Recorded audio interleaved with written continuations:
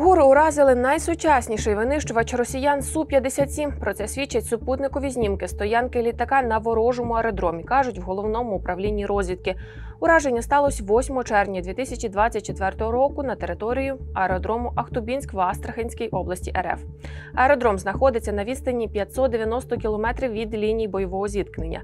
На супутникових знімках видно, що 7 червня Су-57 стоїть цілий, а вже 8-го біля нього з'явились вирви від вибуху та характерні плями пожежі, що виникла внаслідок вогневого ураження. Су-57 – найсучасніший винищувач Російської Федерації, який здатен використовувати для ударів крилаті ракети Х-59 та Х-69. На озброєнні повітряно-космічних сил Росії перебувають лічені одиниці вказаних бойових літаків.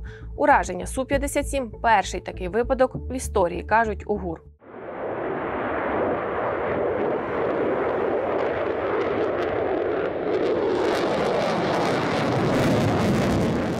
Бойові вильоти цих винищувачів швидше за все відбуваються лише в російському повітряному просторі, заявляла раніше британська розвідка.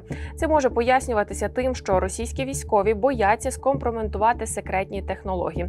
Таке могло б статися, якщо ЗСУ вдасться збити винищувач.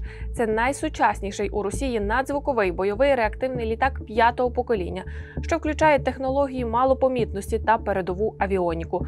Розмови про розробку такого сучасного озброєння російського виробництва розпочалися ще на початку нульових, але перший політ Су-57 відбувся лише у січні 2010 року у Комсомольську на Амурі. Друзі, аби швидше ліквідовувати окупантів на українській землі, потрібна і ваша допомога. Бійцям 109-ї бригади на передовій дуже потрібні FPV-дрони камікадзе, які ефективно вражають живу силу та техніку противника. Приєднуйтесь до збору. Усі подробиці та реквізити знайдете в описі під відео.